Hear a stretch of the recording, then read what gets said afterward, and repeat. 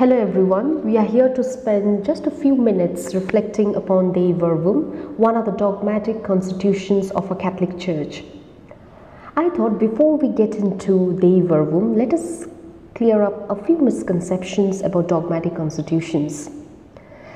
Some of us tend to think that dogmatic constitutions are difficult to grasp. Yes, some documents can be complex, However, most of the documents are written with intention of being accessible to the faithful, to all the faithful.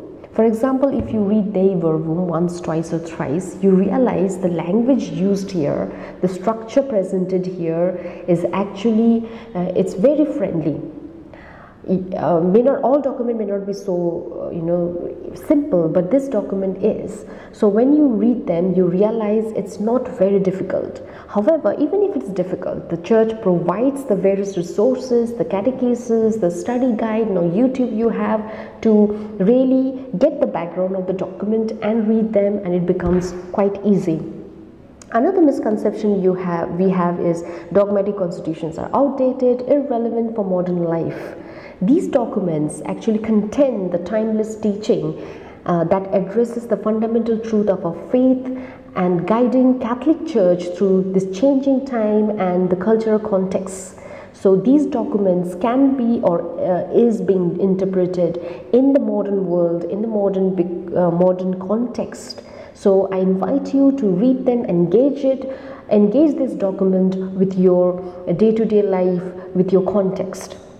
With this little understanding, let's let's have a cursory view of Dei Verbum that each of each one of us get inspired to read them, read this document and promote it in a lived example. I'll give a very very short understanding of each chapter that you can read by yourself. For example, uh, for let's begin with Dei Verbum. This two word comes from the Latin word which means the word of God. Uh, this particular document is a principal document of Second Vatican Council, uh, which you all of all of us know that it uh, it held in 1962 to 1965. This document. Uh, the title, the formal title is Dogmatic Constitution and Divine Revelation and it's been promulgated by Pope Paul VI on November 18th, November 18th, 1965. Now, Dei Verbum has a very clear focus when you look at or when you read the read prologue i won't read for you lack of time but when you read the prologue you can see that the focus is that it defines or it produces a doctrine on divine revelation and how to transmit it. And why it wants to do because it wants all the people to hear it believe it and hope and love so these are the focus when you read the prologue and I hope you read, read prologue after this video. Then we, when you look at this documents, it's a very, very simply uh, uh, uh, put them into six chapters. First chapter talks about divine revelation.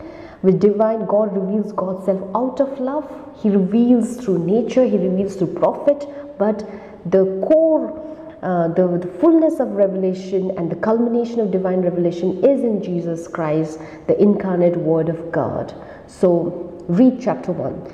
Soon after that, you will see the transmission of divine revelation. The transmission of divine re revelation occurred through both sacred scripture and sacred tradition without neglecting either or or. So, these two, uh, scripture and tradition, are not two different things but rather it comes from the same source and it is it, it points towards the same source. So it is part of one economy. After this uh, explanation of this uh, second chapter of the transmission by these two uh, tradition and the scripture uh, very very cleverly the the document is placed after that it explains what is sacred scripture. Then the new testament then the old testament in chapter chapter 3 3 4 and 5 that's the way it is being structured. So it talks about the sacred scripture which has been inspired by the holy spirit but written by written by the mm, uh, the human author. So you read it's it's It's placed it very beautifully. Then we have this Old Testament and New Testament. is It's not a two different story, but it talking about the one whole story. Then the last one, last the sixth chapter, which I, I, I guarantee that all of you love, that is the sacred scripture in the life of the church. When you talk about the relevance in today's context, the sacred scripture, the importance of of all of us. It's an invitation for all of us to hold the scripture, hold the word of God, read them, meditate them, and let it become part of us. It invites the clergy, it invites deacon, it invites the catechist, it invites bishops to make this scripture as the center of our life. So basically, Dei Verbum is a fundamental document for understanding how the Catholic Church views relationship between scripture, tradition and the teaching authority of the church. It encourages a deeper and more personal engagement with the Bible while also affirming the importance of church's role in interpreting and transmitting the divine revelation.